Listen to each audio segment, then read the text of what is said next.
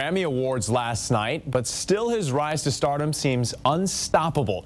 His father recently sat down for an exclusive interview with KITV. As Moani Keala Nabarro reports, his father says his son's passion for the spotlight started at an early age.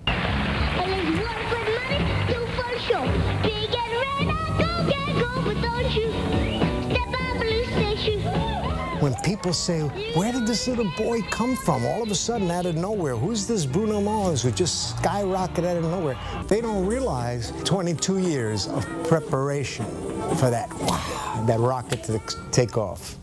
It's been a long climb to the top for 26-year-old Bruno Mars. His father says the stage was set in the delivery room the day little Peter Gene Hernandez was born on October 8, 1985.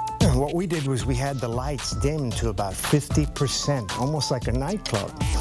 And they allowed me to bring in music, so I brought a cassette player at the time, and I was playing oldies but goodies.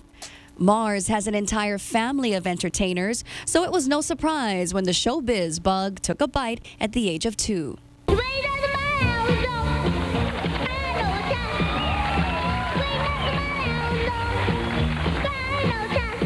I pulled him up on stage and he started to shake his legs.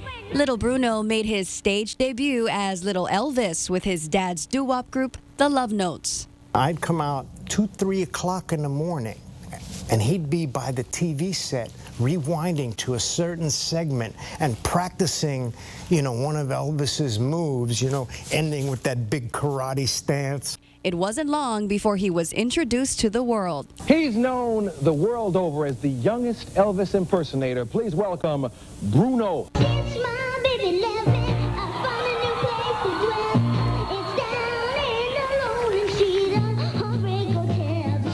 Young Bruno continued to perform with his dad's show at Sheraton Waikiki, impersonating the kings of rock and pop watching the shows six nights a week that we were involved in, participating in them, but then going home and never can get enough of it. Whether he was on a piano or teaching himself guitar or whatever, he was just, his appetite was insatiable. Despite Bruno's surging success, his dad says he was a normal kid, one of six children growing up in Honolulu.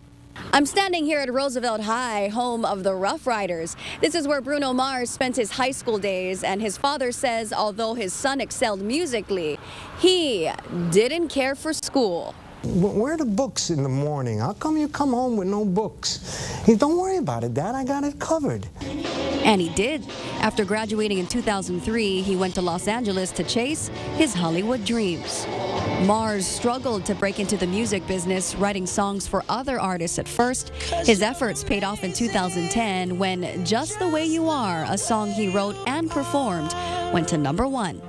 But Bruno wanted to go for the brass ring. And sure enough, he got it. He grabbed it.